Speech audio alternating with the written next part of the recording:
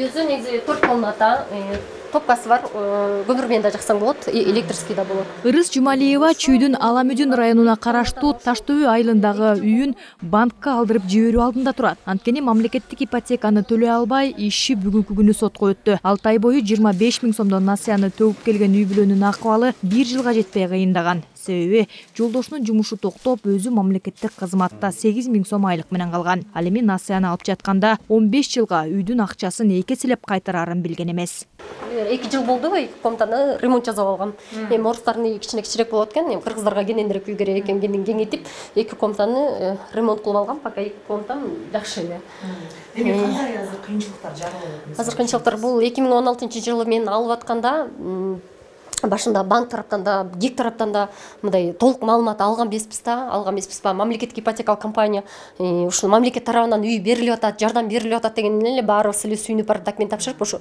мамлекеттин эсебинен алганбыз бул үйдү эки миллионго алгам.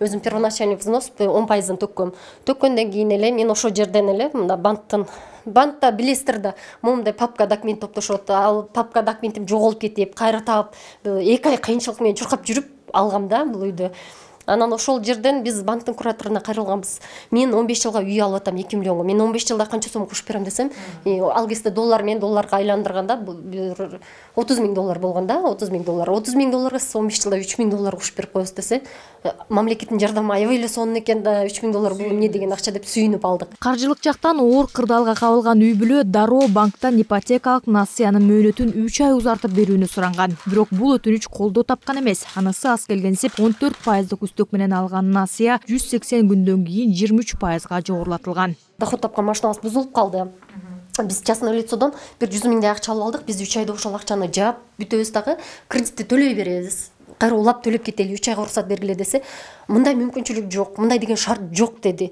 көрсө андай шарт бар экен мен мамлекеттик ипотекалык компанияга барып деле кат жазып кайрылып таштап койсом болмок экен и банктын өзүнө деле кат жасасам үч ай мага уруксат бермек экен ошол уруксат бербегендиктен ушундай кыйынчылыктар келип мына үч жылдан мен болгон депутат президенттердин баарына кайрылдым бүт баарын эле жооптору коендой окшош ошентип жүрүп мына жүз сексен күн өтүп кетти. Биз банк акчаны гикке кайтарып салдык мамлекеттик ипотека компанияга биз өзүбүздүн акча менен сени каржылап атабыз деп туруп мен он төрт пайыз менен төлөй албай аткан акчамды гик потребительский кредит дейт экен жыйырма үч пайызга коюп койду мамлекеттик ипотекалык компания аркылуу насыя алгандардын арасында бул сотко өткөн биринчи иш десек болот бирок учурда насыяны төгө албай жүргөндөрдүн саны сегиз жүзгө чамалаганын насыя алуучулар коомдук бирикмеси айтууда. Алар мамлекетке насыянын пайыздык үстөгүн төмөндөтүп берүү талабын коюп келе жатышат. Анткени көпчүлүк үй бүлөлөрдүн каражат түшө турган жеке булактары пандемия маалында токтоп калган.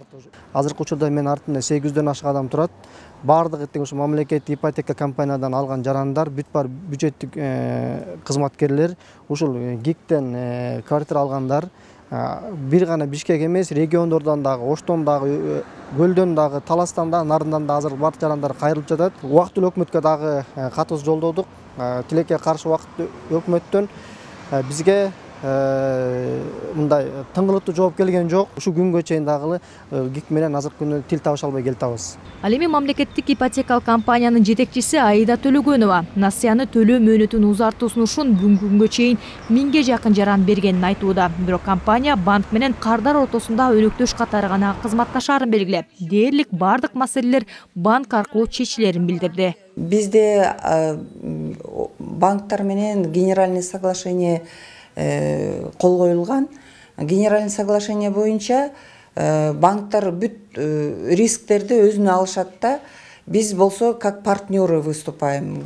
Банк менен ипотечный компания партнер. Кандайча болот эми азыр пока эч кандай эмете албайбыз да.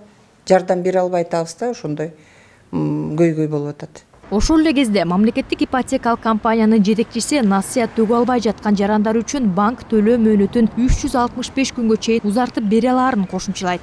Ал үчүн насыя алган адам тийиштүү банкка жана ипотекалык компанияга арыз калтырышы керек. Эгер бир жыл ичинде төгө албай калса насыянын көзөмөлдөө милдети автоматтык түрдө банктын карамагына өтөт да пайыздык үстөк дагы банк тарабынан коюла баштайт.